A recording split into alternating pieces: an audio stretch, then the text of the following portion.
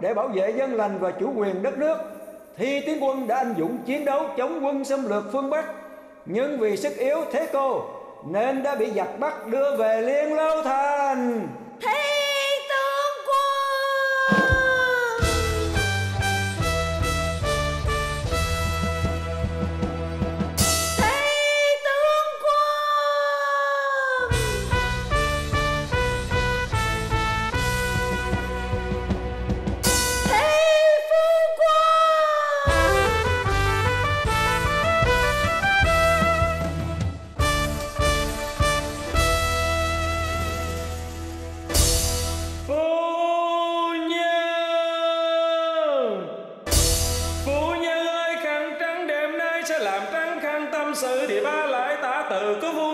trọn tình gian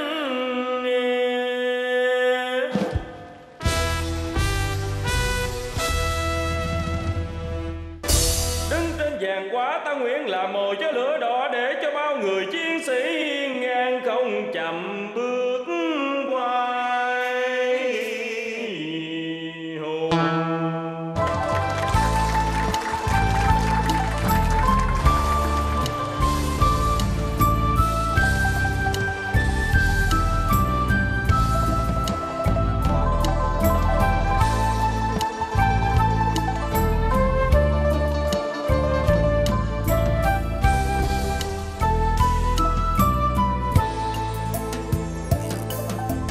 đông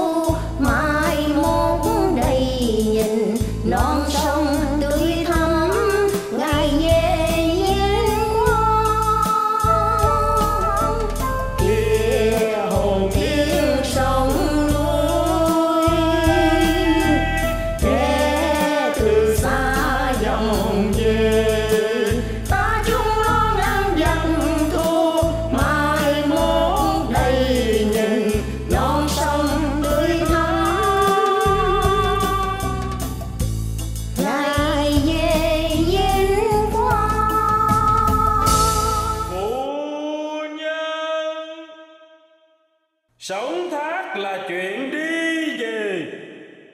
Hợp tan là trò dấu bỉ tất cả đều không đáng kể. Mà chuyện đáng lo là sự trường tồn của dòng dõi.